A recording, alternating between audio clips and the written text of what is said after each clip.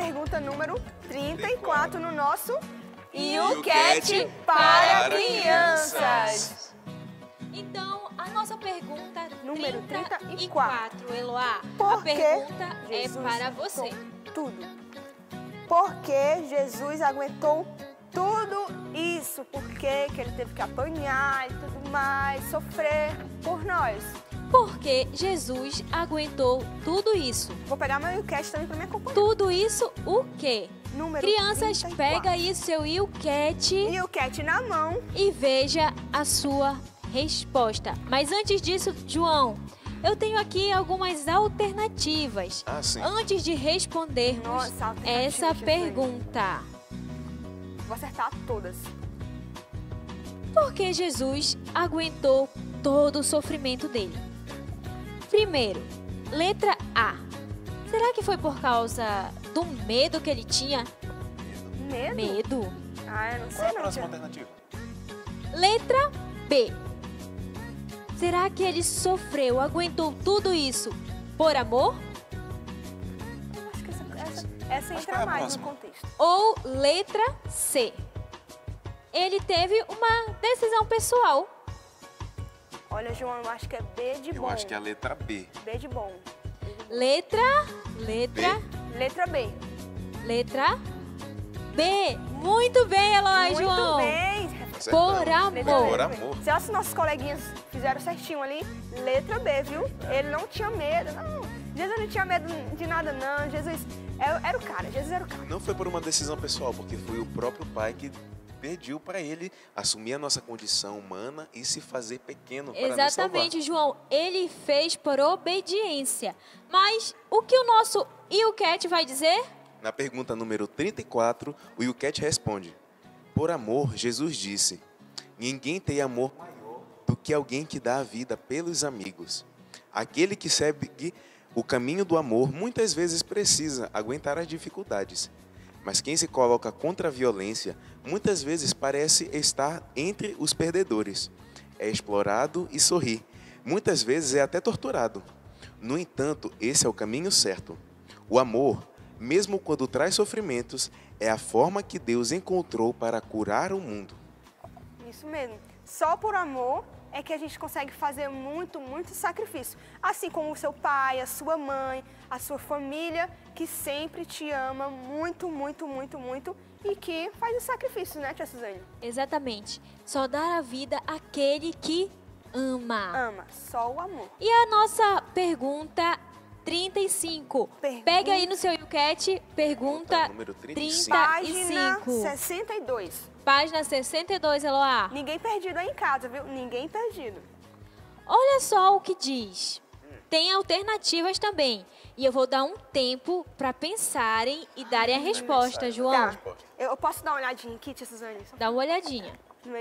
Jesus não tinha mais amigos. O quê? Todos abandonaram. Mas quem permaneceu? Quem permaneceu? Letra A. Pedro, Tiago e João. Letra B. Lucas, João e Maria, sua mãe. Ou letra C.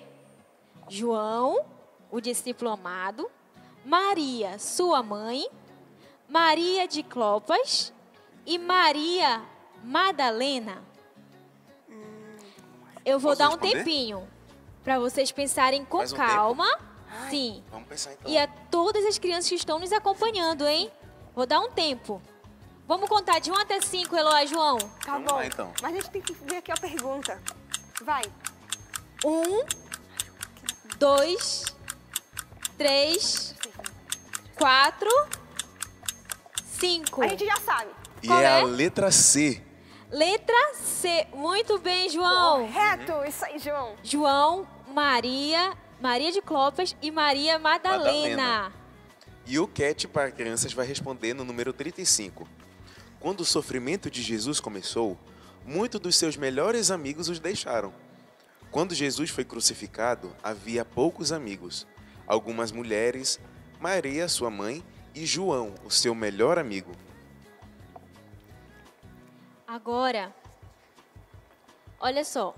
Primeiro nós vimos hoje que Jesus aguentou tudo que ele passou Por por amor, Amor.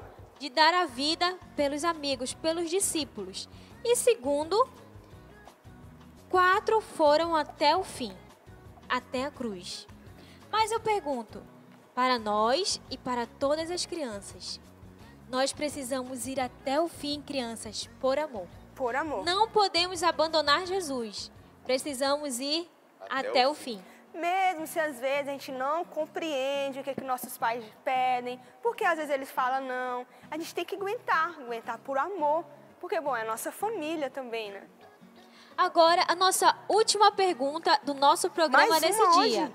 A última. A pergunta número 36. Número 36. Tem até dois amiguinhos aqui, ó. Não sei se eles são muito amigos, né? E estão assim perto de uma pedra. Eu acho que isso me lembra alguma coisa.